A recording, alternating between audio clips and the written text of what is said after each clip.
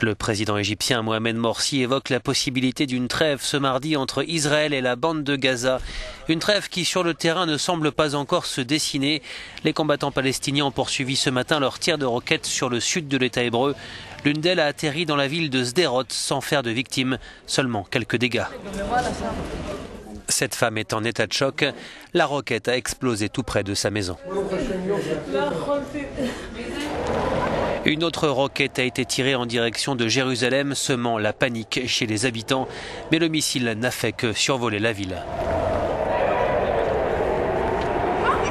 Une semaine après le début de l'opération Pilier de défense, Israël espère encore parvenir à une résolution diplomatique du conflit.